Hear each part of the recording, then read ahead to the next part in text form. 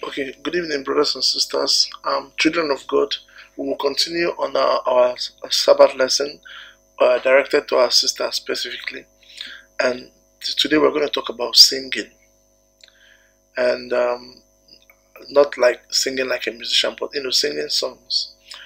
I want to encourage our sisters to keep singing wherever they are. I, you know, growing up, um, I remember when I was growing up, my mother would be taking me to the farm or to the stream or anywhere, and she'll be singing, and we'll be singing and going along. And we won't be the only ones. You know, other people too, you see them walking on the farm, they are singing to themselves. Whatever they are doing, maybe they're peeling cassava or pounding yam or doing anything, they are singing to themselves. And when uh, the the place where I grew up and around me then, women always, whatever they're doing, whether they're doing house chores, they are singing any kind of song, be it Christian song, be it village song. They are singing to keep their soul and their spirit happy. Unfortunately, today, most people do sing songs, but they sing demonic songs, songs that were sung by people who practice Satanism, uh, songs that are from Hollywood and um, songs that are demeaning to women. Uh, look at, um, I turn on the television today, or Channel O, or any of those nonsense, and all you've seen is people singing songs and women dressed like prostitutes.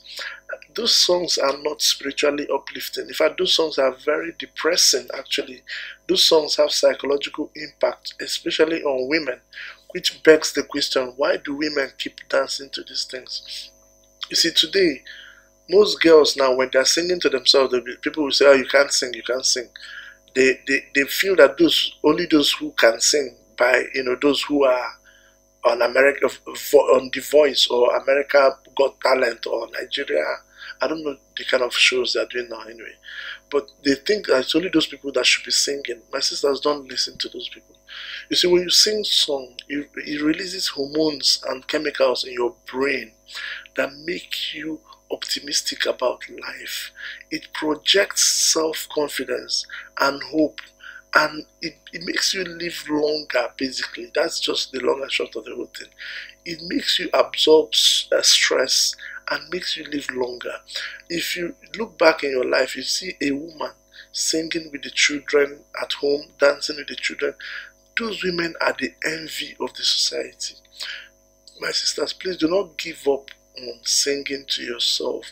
Don't listen to all this, you know, all this um modern day vibe about songs, which is only to do uh, kind of meant for those who can sing on America Got I, uh, American Idols or Nigerian Idols or whatever they call it, Multina Dance Talent. Those things are nonsense. When you sit on your own, whether you're writing exams, whether you're reading a book, make sure you have a good song under your breath. And when I say good song, all those songs that are sung by Hollywood and all those things, songs are terrible for you. No matter what Mariah Carey is saying in her songs, the songs are terrible. The beating of the songs, they, they are psychologically terrible for you. Look for a nice song, a song that will uplift your spirit. Okay, my sisters, when I say that these Hollywood songs are dangerous for you, I'm not saying it out of joke. I'm very serious about it. You see, if you understand the concept of Satanism, you understand that music is what is one of the most important instruments that the devil uses and that is why when you're singing all these demonic hollywood songs you see them doing all kinds of hand signals that people call illuminati and all those nonsense that these are all forms of Satanism. It's Satan worship. You cannot be going to church and singing songs with people who worship Satan. It doesn't make sense. It, it does not follow. So God does not regard such kind of things. When you sing those songs, even if they tell you keep your head up, don't say no, all, all, all those kind of nonsense they tell you, they are not saying it to encourage you. Those songs are actually being sung to affect your spirit, to reduce your ability to resist temptation. That is what they mean by casting spells. Casting spells mean reducing your ability to say no to temptation. That's what spells mean. And when these Hollywood people sing these songs, they are casting spells on you.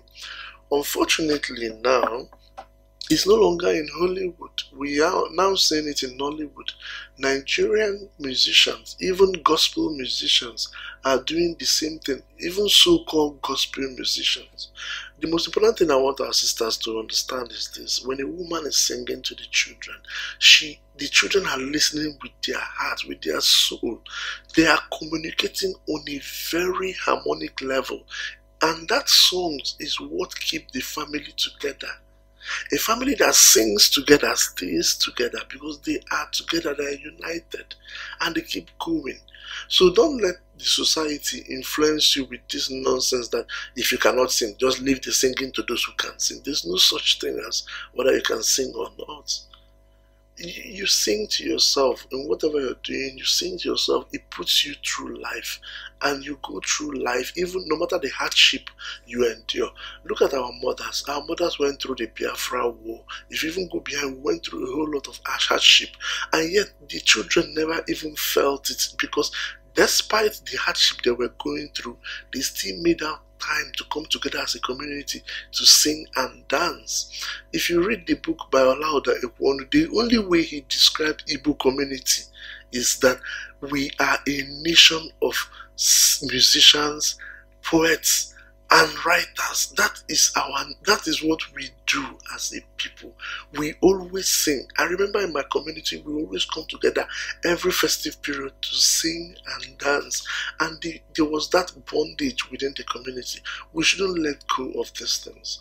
Don't let the, the current wave of so-called modernism or civilization affect our ability to resist. Because if you look at the communities where the so-called civilization have affected, they all have mental problems because they've let go of the ability to be happy in themselves. If you keep chasing money and chasing happiness or chasing wealth, you are never going to get it until you look within yourself and find the pleasure. And most times, that pleasure in yourself is found from singing songs in your heart uh, under your breath. May the Most High bless you, our sisters, as you listen to this. And I do hope people don't see this as uh, this series of videos we've made as, as something that to criticize our sisters. Our sisters are very important to us. They hold the fabric of our future generation. May the Most High bless you. Salam.